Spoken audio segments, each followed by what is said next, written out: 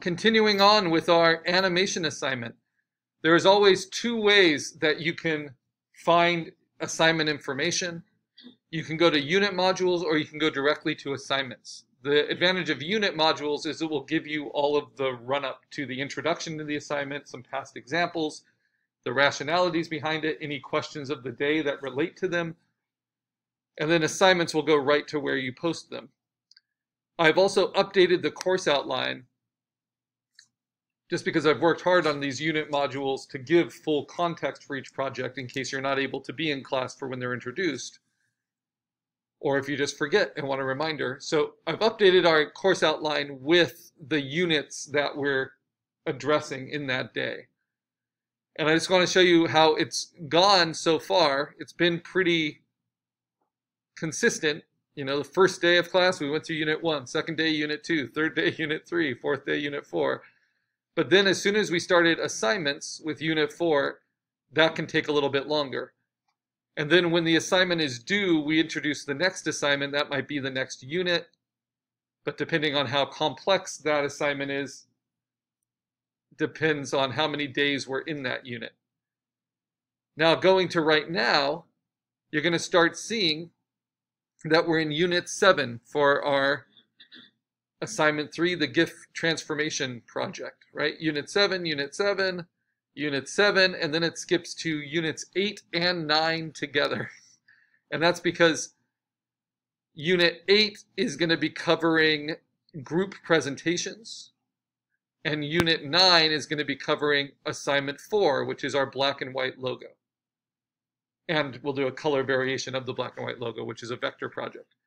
And that's an important one because it also introduces vectors as an actual assignment, not just an exercise, and there's a question of the day that goes with it. It's really important for this class and for your digital literacy to know the difference between raster and vector imaging.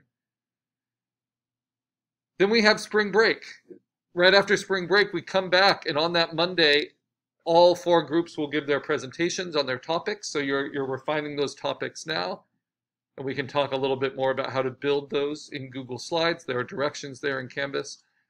And then on the Wednesday of the week we come back is our midterm exam. But not only is it our midterm exam, which is actually quite easy, we'll do our little review for it. I mean, easy isn't the right word, it's quite direct right? It's going to be 14 questions. It's on things we will review. It's just kind of a comprehension check of digital terms, digital concepts.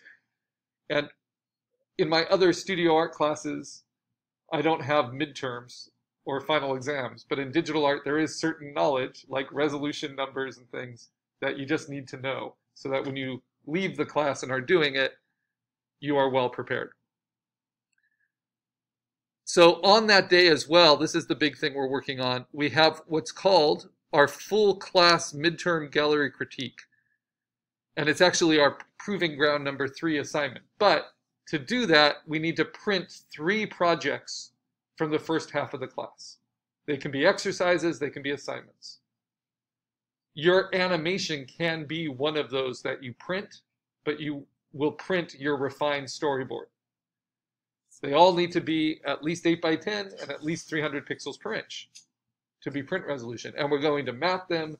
You can find the, the mat details in the supply list. We'll go over it. They're $3 at Hobby Lobby, the pre-cut 8 by 10 window mats. And you need three of them, right? And we're going to be printing in lab, making things print ready. The critique is not just having your artwork ready, it's looking at your, your class members' artwork and distinguishing certain qualities about it. So its effectiveness, its execution, its uh, concept, the idea behind it, all of that. So we'll be going through that. Then we move on with more projects. From Unit 11 on forward, actually really Unit 10, which introduces spot illustrations, your work is going to be kind of completely your own work. We're not going to be compositing anymore. The only compositing we'll be doing is kind of as finishing techniques over the top. Like if you want to add a texture on top of your spot illustration, things like that. You're allowed to composite, but the ideas are going to be wholly your own and usually based on your own drawings, your own concepts. We'll be modifying existing typefaces to go with our posters, but other than that, that will be the end of our compositing. So this GIF animation is kind of the end of using other people's pixels. And because of that, you are required not only to show a transformation, but to use something that you've already made in the class. And you can use that in any creative way you want. You can also create a lot of new assets, and most of us will need to uh, in order to animate. So on that course line, you'll see the units built in. You get to the units through the unit modules. And I've tried to label them so they make sense. So unit 7 is the GIF animation. That's what we're doing now. That's what I introduced in the last video. But you can also get to it more directly, like just when you need to post things and get them turned in. I don't you need to navigate through through all the the units. So instead just go to assignments and scroll right down to the thing you're turning in. But I will often give what's the term? I will give uh, helpful resources on this assignment page that kind of don't fit in other places necessarily. So for instance, I have a, a past digital honors presentation. When I have digital honors students, that's taking the digital art class a second time, making a new portfolio. It's like an independent study portfolio, usually in character design or in graphic design. But part of that, they don't do the group presentations, they don't do the final presentation. Instead, they do what are called mentorship presentations, where they give their tips on how to do the the digital art projects that they successfully completed, right? So what's really helpful about this is this was the digital honors presentation done while we were remote and everything had to be done with freeware online. So though we'll be using Photoshop because we have access to it, we're in the lab this semester, if you want to work on your PSD animation file at home on freeware, this is how you can do it in Photopea and the, with the addition of this program, which is in the directions as well, or this site, which is called gifmaker.me. And the basic idea is that we'll be going over is you create layers in Photoshop. Each layer is where you put your, your assets. And you can create your assets out of lots, or you can create your layers, which will be your frames and your animation, out of lots of different assets. So we'll call the first assets that we use, these are our characters, our setting, and then we'll change those to affect the actions we want in our story, right? So if you have a character and you want its mouth to open, the character is an asset, but then the mouth will be a separate asset because you're going to change the actions of the mouth from closed to open. And you can decide whether you want to do that in three steps, in five steps, in two steps, what have you. So it's a lot about organizing layers. But at the end of the day, we'll have a Photoshop file, which I call the stage file, and I'll explain why that has just clean layers with all of your frames. Once you have that file, it's like a film strip in an old camera. Once you play those through, which we can do in Photoshop, it animates them. In Photopea, it doesn't have that option. So what you do is you, you output each of those individual layers as an individual JPEG. They'll each be 8 by 8 inches by 150 pixels per inch. You upload them into gifmaker.me, and then you are able, with that program, just very simply to arrange the layers in the order you want, and then to set a timing for each one. And it will play them like an animation. Because that's all animation is, sequential playing of images, and where the artist controls the timing.